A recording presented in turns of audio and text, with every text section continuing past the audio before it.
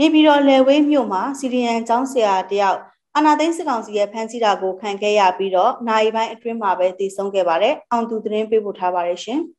။နေပြည်တော်လေဝင်းမြို့မှာနေထိုင်တဲ့စီနီယာကျောင်းဆရာကိုလာမင်းမောင်ကိုဒီဇင်ဘာလ20ရက်နေ့ညပိုင်းမှာအရက်ဝတ်တဲ့စစ်ကောင်စီတပ်ဖွဲ့ဝင်တွေကလေဝင်းမြို့က အိဇဲလန်စားတောက်ဆိုင်မှာဖမ်းဆီးသွားခဲ့ပါတယ်။နောက်တရက်ဒီဇင်ဘာလ22ရက်နေ့နေ့လယ်12နာရီဝန်းကျင်မှာတေဆုံးသွားပြီလို့ရဲစခန်းကမိသားစုကိုအကြောင်းကြားလာတဲ့အကြောင်းတေဆုံးသူမိသားစုနဲ့နှိစက်သူတွေကပြောဆိုပါတယ်။တော့ဒါသူကဟိုစီရီယန်လုပ်ထားတဲ့အလေရန်ပြဆရာတယောက်နောက်သူ20ရက်နေ့ည8နာရီ15လောက်တော့မအီဘူးညစာမစားဘူးအပြမစားမစို့ဘူကြီးကြီးတွားပြီးလွတ်သွားကူလာမှဆိုထွက်သွားတယ်ထွက်သွားပြီးတော့ ပြန်မလာဘူးခင်ညပြန်မလာဘူးပြန်မလာနောက်တော့နောက်နေ့ဆက်ဆက်နေနိုင်ဘူးတော့ကြတော့ဒီညနေဆန်းကတောင်ရှိဖို့ဘူးတောက်လာပြီးတော့ဆုံးသွားပြီဆိုတဲ့အကြောင်းနဲ့သူ့ကိုလာပြီးတော့ဘာသာတိထုံးစံရအကျိုးနိုင်ဘူးလို့ကိုကြီးတော့တာမှာပြင်စားမယ်တုံးနိုင်ရောက်ရောက်လာပါပြီကျွန်တော်ပြောတယ်ပြီးတော့အဲ့ဒီတနာကြီးဆောင်တော့ဒီဆောင်လျှောက်တည်တယ်။ရောင်းကိုသူပြင်မနာကြီးကိုသူတင်လာ ယူလာဒီလိုအဲ့မှာဘာသာရေးကျွမ်းလာတိုင်းတန်ရုံးတင်ပါဒီကျနာကြဖတ်ပြီးတော့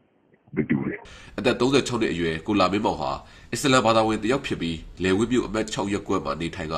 လေဝိမြို့မတော်ပင်ကျေးရွာစာတင်ကျောင်းကအလေတန်းပြဆရာတယောက်ဖြစ်ပါတယ်ရွေးကောက်ပွဲအနိုင်ရအစိုးရစီကနေစစ်တပ်ကအာဏာသိမ်းယူပြီးတဲ့နောက်ပိုင်းအာဏာရှင်စနစ်အောက်မှာတာဝန်မထမ်းဆောင်လိုတာကြောင့်မက်စလာကလေးက CDM ပြုလုပ်ထားသူဖြစ်တယ်လို့ကိုလာမင်းမောင်ရဲ့မိတ်ဆွေတယောက်ကပြောဆိုပါတယ်။ သူကသူကဂရီဆောင်ကမှယောဂနဲ့ဆုံးသွားတယ်တဲ့အဲ့ဒါကြောင့်အဲ့ဒါဒီဒီဘုဒ္ဓလောက်တာတဲ့အဲ့ဒီဘလို့အစီအစဉ်ဖြစ်စဉ်ကိုကျွန်တော်မပြောပြသေးဘူး။ဘယ်နည်းပြောပြမယ်လို့ပြောတာပဲ။နေပြီးတော့ကောင်စီနေပြီးအတွင်းကရက်ွက်တဲ့ကြေးရွာတွေမှာနေထိုင်တဲ့သူတချို့ကိုစစ်ကောင်စီကအကြောင်းပြချက်မရှိဘဲဖမ်းဆီးပြီးစစ်ကြောရေးမှာနှိပ်စက်စစ်ဆေးတာတွေလုပ်လို့ရှိတယ်လို့စစ်ကြောရေးမှာတေဆုံးသွားတဲ့သူတွေအများအပြားရှိတယ်လို့ဒေသခံတွေကပြောဆိုပေမဲ့တေဆုံးခဲ့တဲ့သူအတိအကျကိုတော့ DVB သတင်းဌာနကစုံစမ်းလို့မရသေးပါဘူး